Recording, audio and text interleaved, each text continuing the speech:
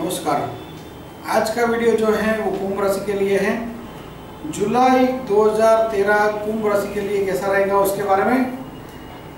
सबसे पहले बात करेंगे सूर्य ग्रह के बारे में। सूर्य महाराज जो है, वो राशि से पंचम स्थान में चल रहे हैं। पंचम स्थान में यहाँ पर मंगल, बुध और गुरु भी साथ में चल रहे हैं, जो कि आपको संतान रिलेटेड टेंशन दे सकते हैं। संतान से टेंशन मिल सकता है लव मैटर में डिसअपॉइंटमेंट हो सकती है। मित्रों के साथ डिफरेंस ऑफ़ ओपिनियन भी हो सकता है। 16 जुलाई के बाद जो सूर्य का भ्रमण है, वो कर्क राशि में होगा, जो कि राशि से छठे स्थान में है, जो बहुत शुभ है, राज्यों कारक है। 16 जुलाई के बाद का जो लेटर ऑफ़ मंथ है 15 दिन, ये आपके लिए शुभ है।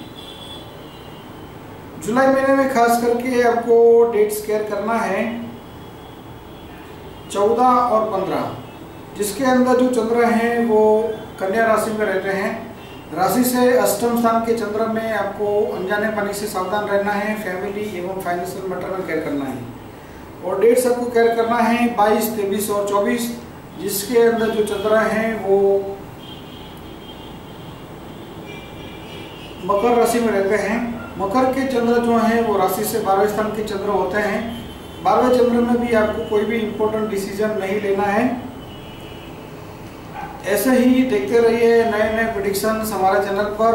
सब्सक्राइब करिए channel thanks for watching video all the best